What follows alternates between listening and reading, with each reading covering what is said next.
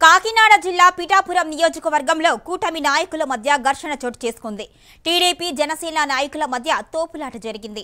MLC ఎలక్షన్ల నేపథ్యంలో ఏర్పాటు చేసిన అవగాహన సదస్సులో ఎమ్మెల్సీ అభ్యర్థి పేరాబత్తుల రాజశేఖర్ పాల్గొన్నారు. కూటమి ఎమ్మెల్సీ అభ్యర్థి రాజశేఖర్ను మూడు కండువాలు వేసుకోలేదు. మీరు ఏ పార్టీకి చెందిన వ్యక్తి అని జనసేన నాయకులు కురుమల్ల రాంబాబు ప్రశ్నించడంతో ఇరు వర్గాల మధ్య ఘర్షణ మొదలైంది. జనసేన నాయకులు తిరుపట్ల ఎమ్మెల్సీ అభ్యర్థి రాజశేఖర్ అసహనం వ్యక్తం చేసి అక్కడి నుంచి వెళ్ళిపోయారు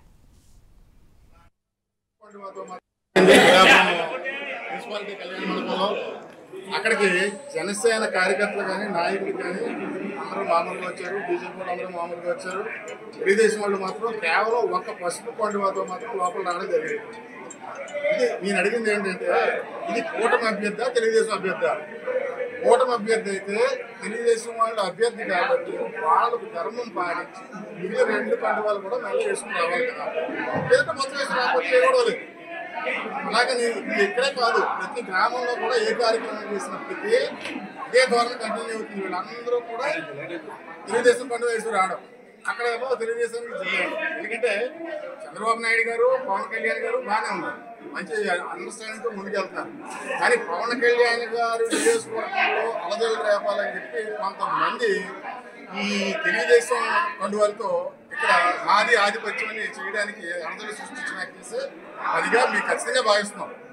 ఎలక్షన్ వచ్చింది కాబట్టి మా అందరి సహకారం కూడా కావాలంటే కూటమి ధర్మానికి కట్టుబడి ఉండమని చెప్పడానికి నేను ఆ మాట చెప్పాను. ఇది ఎక్కడా కూడా కట్టుబడి లేదు. తెలుగుదేశం ఆధిపత్య ధోరణి ప్రదర్శించడానికి ప్రయత్నం చేస్తామని ప్రతిసారి కూడా అలాగే మా నియోజకవర్గ ఇన్ఛార్జిని కూడా ఒక గ్రామంలో మొన్న రోడ్లకి శంకుస్థాపన చేయడానికి వెళ్తే ఒక తెలుగుదేశం కార్యకర్త అడిగాడు నీకు ఏ అధికారం ఉందని కొబ్బరికాయ కొడతామని చెప్పి. పవన్ కళ్యాణ్ గారు ఉప ముఖ్యమంత్రి ఆయన ఎవరిని నిలబెడితే అక్కడ ఇన్ఛార్జిగా ఆయనకి అధిక అధికారాలు ఉన్నట్టే. అది కూడా గమనించుకోకుండా తెలుగుదేశం నాయకులు వాళ్ళని సపోర్ట్ చేయడం ఈయన ఒక అలజడి సృష్టించడం. ఏ కుప్పంలో అలాగే జరుగుతుందా? కుప్పంలో చంద్రబాబు గారికి వ్యతిరేకంగా ఏమైనా జనసేన నాయకులు అని వ్యతిరేకంగా చేస్తున్నారా? లేదు కదా. అంటే ఎక్కడ ఏ పార్టీ నాయకులు పోటీ చేశారో ఎమ్మెల్యేగా వాళ్ళదే ఆధిపత్య ధోరణి నడవాలి. ఎందుకంటే కూటమి కార్యక్రమం చేస్తున్నాం జనసేన చేస్తున్నారు బీజేపీ చేస్తున్నారు. ఇప్పటికి రెండు వేల చిల్లరే మనం ఎన్రోల్మెంట్ అయింది ఇంకా ఐదు రోజులు టైం ఉంది. బాబు నిశ్శబ్దంగా ఉండండి. నగేష్ సార్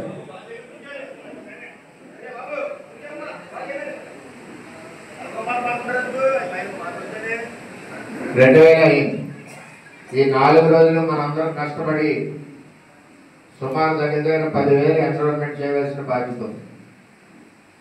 అంటే ప్రతి వార్డులోనే అలాగే ప్రతి గ్రామంలోని మనం ఎవరైతే ఉన్నారో ఒకసారి చేసుకోమన్నాం. మేమైతే మా ఆఫీస్లో ఒక ఇద్దరు వ్యక్తులు పెట్టాం వచ్చిన వాళ్ళని ఎన్రోల్మెంట్ చేస్తా ఉన్నాం. అలాగే ఇక్కడికి వచ్చినా పర్లేదు వాళ్ళు వాళ్ళు చేసుకున్నా పర్లేదు. రెడ్ సెంటర్లో వెళ్ళినా చేస్తారు.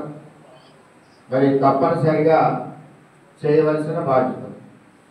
ఎట్లాగంటే ఈ ఎలక్షన్ మన ఎలక్షన్ తర్వాత మొట్టమొదటి ఎలక్షన్. కూటమి అభ్యర్థి చంద్రబాబు నాయుడు గారు పవన్ కళ్యాణ్ గారు